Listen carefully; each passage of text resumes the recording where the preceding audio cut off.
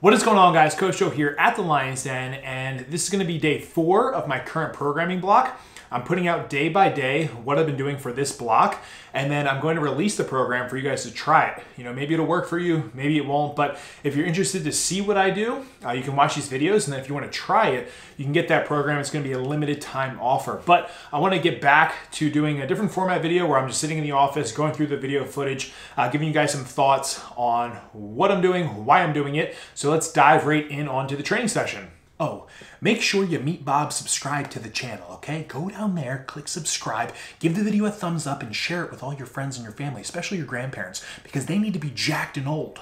All right, day four is primarily going to be a pulling and pressing day. So the first movement on our list is going to be trap bar deadlifts. And we actually did trap bar deadlifts in the previous uh, training block, but we did low handle trap bar deadlifts. So it just made the movement harder because we're pulling uh, from a lower position. So all you have to do is flip the handles upside down. And if you guys didn't know that, there are two handle options on trap bars typically. A high handle, uh, which is the regular handle that most people will pull from, and then the low handle if you just flip the bar over. So in this block, we went back to high handle. Uh, and honestly, just talking to my training partners and I, we've just been really enjoying the trap bar. And we also like it because we're not doing tons of squatting and leg work, uh, but this allows us to kind of get that hybrid in of a pull and a little bit of leg as well because when you do the trap bar you're using those quads a little bit more than you typically would uh, for a conventional deadlift. So i just think there's a nice carryover there. And like i said overall it motivates us to train more because we like the movement. So for the rep scheme for this we had five at seven five at eight five at nine. And for those of you asking what I mean by five at seven, five at eight, five at nine, is where you're doing five reps and at an RPE 7, 5 reps at an RPE 8, and 5 reps at an RPE 9. So if you don't know a lot about RPE, I would suggest watching Alan Thrall's videos or even Calgary Barbell. They have some great videos out on RPE training, and I'll put them in the link um, down below in the description. Uh, but you can also watch some of the stuff I put out. But that is just what I mean when I say that. I know there's been some confusion in the comments, so hopefully it's going to make more sense when you guys look further into that. Just a way to regulate uh, and manage and measure our intensity uh, for our training. Now, getting into these trap bar deadlifts, right away off the bat, I remember telling my training partners that I felt great. And the reason I felt great is because the week previous to this, I took a low stress week. So I'll put the link up here for what a low stress week is. But basically, some people do deloads. I do a low stress week, which is just letting my body recover uh, while I'm still training, okay? And I'm actually hitting some heavier weights, but I'm reducing the volume. So I was feeling recovered, and that's exactly the point of what that low stress week was gonna be. And while I was making my jumps in the trap bar, and it was also a higher uh, point in the trap bar, I thought I was going to move some good weight, and that's exactly what ended up happening with my last set. So, you know, just kind of doing plate jumps here. You know, I, I do do a deadlift warm up, which I'll put another link uh, above for you guys to check out my deadlift warm up. You can do that if you wish to. Uh, but for the trap bar, just, you know, threw on a plate on each side and then just kept jumping up uh, to get into my working sets. Now, my first working set ended up actually being uh, 650. So 650 for a set of five. It felt great. Uh, and on this day, typically, I don't really want to wear a belt or straps, uh, which I do end up doing towards the end. Reason being is one, because my hands started tearing. And if my hands tear, then it kind of keeps me from training at the intensity and the pace that I want to. So I will throw on straps uh, on some of the top sets if I need to to prevent my hands from tearing. And then I also don't like wearing a belt on the second pull variation day, just to help manage fatigue a little bit. Um, but I did go big today and I figured, you know what, throw the belt on, throw the straps on, gear up. It was my decision to make. You know, you can do whatever you want, uh, but it ended up being a great call for me in this uh, training session. So did the 650, felt good, bumped up to uh, 670 for a set of five, and that felt really good as well. And I kind of was going back and forth uh, with my training partners on what would be the next move to make. And I was thinking, you know, do I play conservative and maybe go 685, 690? But then once I was throwing those numbers around, you know, now we're in the ballpark at 700. And 700 is a nice number uh, for, to hit for a set of five. Uh, I haven't really hit it for reps in the past, and I haven't really done much trap bar work, so I wanted to push the throttle a bit uh, and you know put 700 on the bar for my last set, and I smoked that uh, for a set of five. There you go.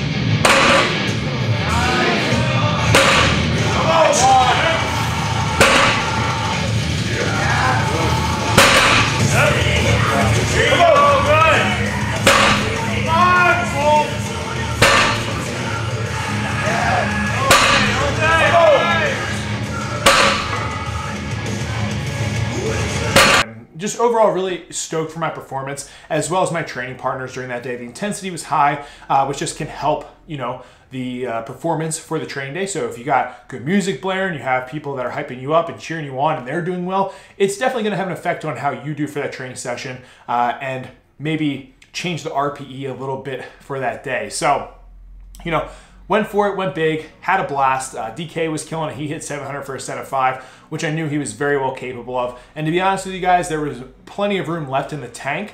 Uh, but for me, that was a good training day, you know, rep PR with an implement that I haven't used much. So decided to call it there and then do uh, our back down set. So typically when we do our back down set, we just repeat whatever we did for the five at RPE seven. Uh, so that would have been the 650 for me. So we went back down to 650 and hit that for a nice set of five. Now, as the weeks continue, those back off sets uh, are going to become more than just one set. So this week it was just one set for the back off, but next week it's probably gonna be two sets on the back off. So we're accumulating that volume uh, and trying to get a good uh, strength adaptation as we increase the volume, okay? And eventually that'll lead to fatigue, and that's when you wanna throw in those low stress weeks or deload weeks, whatever, when you notice that the performance is starting to drop and you're getting that systemic fatigue. So just some thought process behind why we're doing what we're doing. Uh, but overall, great session. Hopefully, you guys enjoyed watching those lifts, and uh, I, I, felt great. And I'm looking forward to seeing what happens down the road with uh, this trap bar and my strength in general. Second lift of the day was the Z press. Now, we are fully naming it the Zeke press in the Lion's Den because of my dog Zeke. That's why. Some people on Instagram are like, why the heck is he is he calling it the Zeke press? I've never heard of that. Guys, I'm making a joke, okay? It's my dog. I love him to death. So I figured let's let the legacy live on. Let's call it the Zeke press. All right. So did the Z press, and the reason that we did the Z press is because this is our third pressing day, and I actually press four times a week. So on the fifth day, I do throw in more pressing, uh, but for this day, the Z press is a nice variation that allows you to hold yourself back uh, from going super heavy and accumulating a little bit too much fatigue. Because you're cutting off that whole lower portion of your body, your stability is going to be a lot tougher than if you were doing a strict press or a push press or any of the other main pressing variations. Uh, so you just can't go as heavy. So for the RPE for this, we were doing eight reps at RP7 across the board for three sets. So just picking a weight, uh, you know, that felt let's just say medium to a little bit heavier. Uh, and there was going to be a challenge, but nothing that we were failing or having issues with, but still could get a good stimulus.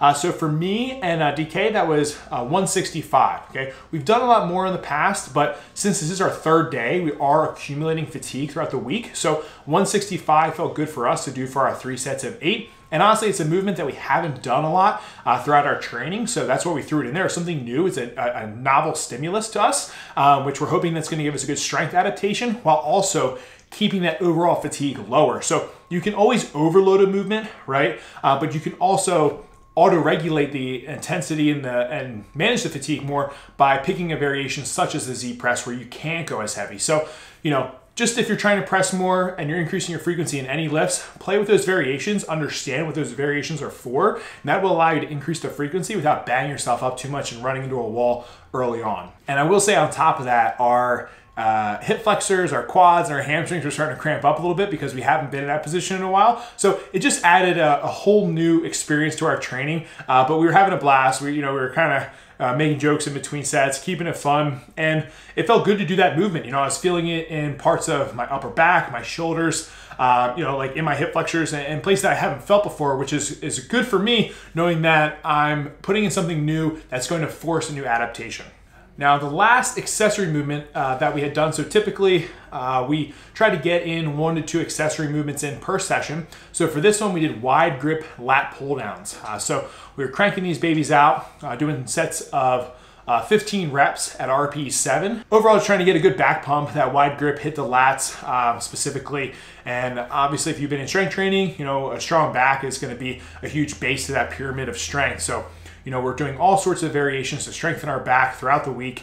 And this is typically more of like a bodybuilder exercise, but is a tail end of the week. So we don't want to be throwing in, you know, huge, large compound movements that are going to fatigue us a ton unless we modify that variation. So the lat pull down is one, something I really love and enjoy doing. Uh, it makes me feel good. It motivates me to train. And two, uh, it's a way for me to get more volume in for my back and increase my back strength long term. So that's why we do it. Uh, three sets, like I said, 15 reps, RPE 7, very simple. And then after that, we just hit on our, our, uh, our arms uh, pretty hard. So we'll, we've been doing arms for the last two and a half years now, I think every Friday uh, at the Lion's Den. And typically it's kind of just a cultural thing that's, that's fun to do here. We sometimes throw on really weird playlists and just, you know, do tons of reps. And, and honestly, it's just more about the experience at this point. And it feels good if our biceps do grow uh, and our triceps grow as well. But uh, for this, we just picked two supersets. Uh, I'm, I'm, only putting one of the supersets on the, the video footage, but typically we'll pick two,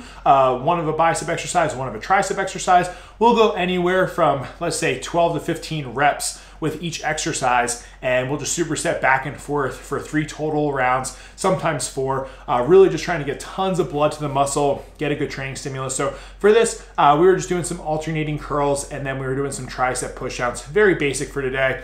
Uh, and then we just did another superset, which I think was uh, some tricep kickouts, basically what we did in the Matt Wenning video. If you guys haven't seen that, I'll link it up here. But check that video out when we train with him. I really liked uh, those like kickouts that we did for our triceps. And then the other bicep was just a cable curl uh, with just a straight bar from the cable uh, machine. And we just crank those out back and forth. So basically all we're trying to do is have a little bit of fun, make sure our arms are smoked by the end of the session. There are smaller muscle groups, so uh, we're going to be able to recover pretty quickly, and we don't really do much uh, with them throughout the weekend. And then by the time Monday rolls around, we're back on our day one. We're feeling pretty good and ready to hit it hard. So that's kind of the gist of day four. Like I said, it's going to be a pulling and a pressing day for the most part. A couple accessory movements. Uh, overall, session's about 90 minutes, okay, hour and a half. So get in, get it done, and then get the heck out.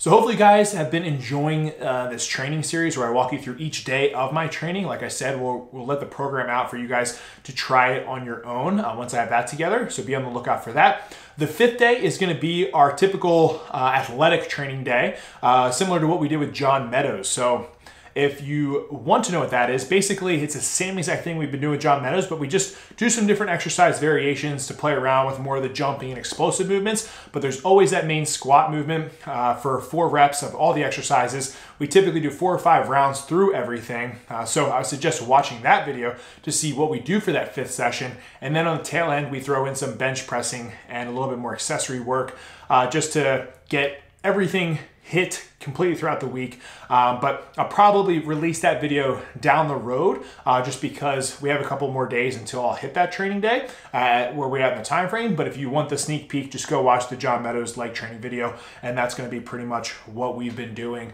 Uh, and it's very custom tailored to however you want to do it. So as long as you have a squat variation, and then you have a couple explosive movements, you go through it four to five rounds, you're going to have your day five, and then we're resting two days out of the week. For us, typically, it's going to be a Wednesday and a Sunday. So we go Monday, Tuesday on, Wednesday off, Thursday, Friday, Saturday on, and then Sunday off. So make it work for your schedule, uh, but that is the overall gist. So Make sure, like I said in the beginning of the video, you smash the subscribe button, you give this a thumbs up, you try these exercises out. Give me any feedback in the comment section. What do you guys think about these exercises? What do you like? What don't you like? I'm down for discussion. And uh, that's pretty much it. We have some great collabs coming up in the future. Uh, we got Jujimufu, I'm pretty sure on tap, where he's actually coming here and I'm going there, or vice versa. But we're going to be at both each other's places. Uh, some stuff with the RP crew coming up. Um, just a lot of good collabs, a lot of knowledge, information. I'm trying to consistently learn and take you guys through this journey. So I really appreciate it, guys. I think I have a jujitsu comp uh, recap coming up. As you can see, my face is a little messed up here. My ear is permanently damaged for the rest of my life. Badge of honor. But until then, guys, stay a lean, mean, strength machine. Peace.